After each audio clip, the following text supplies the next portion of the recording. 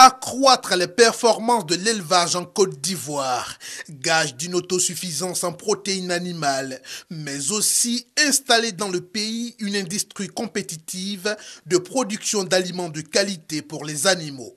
Deux exigences qui amènent une firme mondiale du domaine de l'élevage implantée en Côte d'Ivoire à organiser les awards de l'élevage. Pour la première édition, sur 300 éleveurs présélectionnés, 16 nominés. Et le super lauréat de cette nuit, c'est bien lui, M. Blanc. Il doit son sacre à la qualité de ses produits et de sa ferme. L'élevage, il nourrit son homme. Il nourrit son homme. Et c'est l'occasion pour nous d'agrandir notre production voilà, et d'encourager tous ceux qui veulent s'engager à le faire.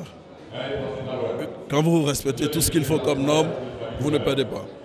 Le ministère des Ressources animales et halieutiques, parrain de l'initiative par le truchement de Dr Henri Bossé, représentant le ministre Kobena Kwasi Adjoumani, exhorte les acteurs du domaine à aller au-delà des 35% des besoins nationaux qu'ils couvrent en ce moment, lesquels besoins se chiffrent aujourd'hui à 130 000 tonnes de produits d'élevage.